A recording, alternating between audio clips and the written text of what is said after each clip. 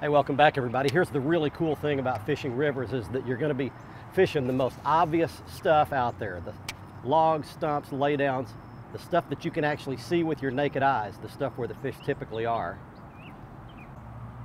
There's fish right there, right there, right there. Got it, got it. There we go. All right. This Big Daddy.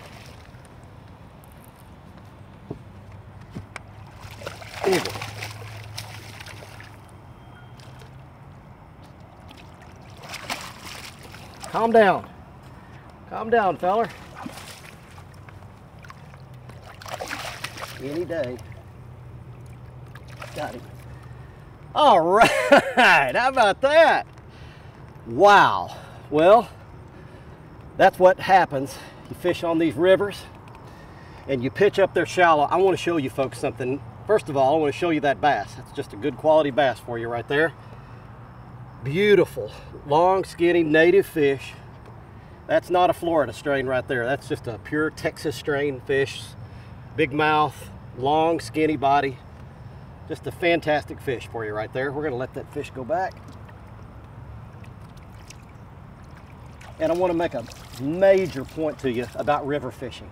It's what I've learned over my career fishing for bass. I'm way back here in a very shallow spot. In fact, look here behind me.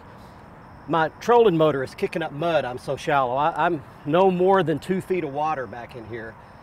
And these fish will migrate back in the shallow water. That's just where they live. So we talked about how easy river fishing is, but it's it's shallow and it's shoreline, basically. You just go down the shoreline. This is a little pocket that comes off the shoreline. You fish everything in that little pocket, every little stick up, every stump, every bush, every reed, cattail, everything you see could hold a fish, even if it's in that shallow water. And it really doesn't matter what time of the year it is. They'll get shallow and stay shallow. Cold winter, hot summer, it's just where they live. Remember that, whatever river system you fish on, they live shallower in rivers than they do in lakes or reservoirs.